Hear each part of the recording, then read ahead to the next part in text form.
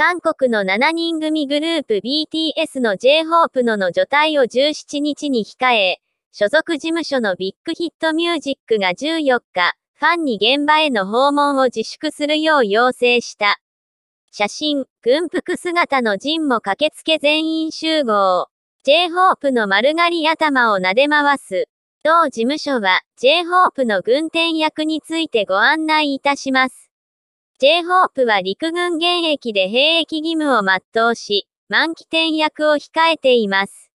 転役費は多数の将兵が共にする場です。転役当日に別途イベントは行われません。混雑を避け安全を確保するために、ファンの皆様には現場への訪問をご遠慮いただきますようお願い申し上げます、と要請。J-Hope への温かい歓迎と激励は、お気持ちだけ頂戴いたします、とした。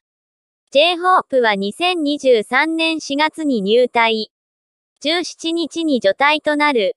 全員兵役中だった BTS だが、最年長のジンが今年6月に除隊となっていた。